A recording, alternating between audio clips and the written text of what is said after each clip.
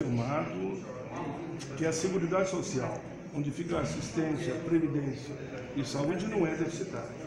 O superávit do último ano foi de 54 bilhões de reais.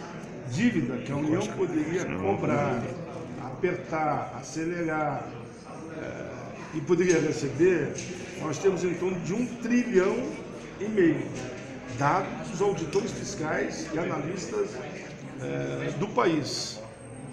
É, só de contrabando nós perdemos em torno de 100 bilhões por ano.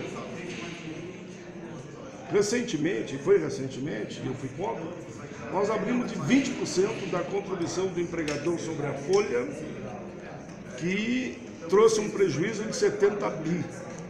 Eu já dizia na época, ou mantém os 20%, ou tem que ser 4,5% sobre o faturamento. Não me ouviram.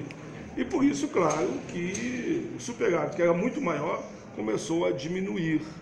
Mas se o caminho for que todos voltem a pagar, o agronegócio pague e os empregadores da área urbana também paguem, o que não pode é jogar a conta para os trabalhadores. Senhor acha que é o melhor caminho taxar o agronegócio? Olha, eu sempre digo que começar a tributar, tributar, tributar, fica aquela velha história nesse país. Quem paga, paga muito, e o que frauda, o que sonega, o que desvia, não paga nada.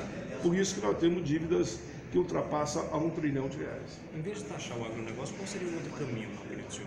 Seria arrecadar de, os auditores fiscais e os analistas, eh, conforme o documento que eu tenho mostrado, que eu tenho viajado todo o país, e os 27 estados fazendo esse debate, deem mais estrutura para os auditores, que eles conseguem garantir, no mínimo, uma arrecadação anual de 500 bilhões de reais.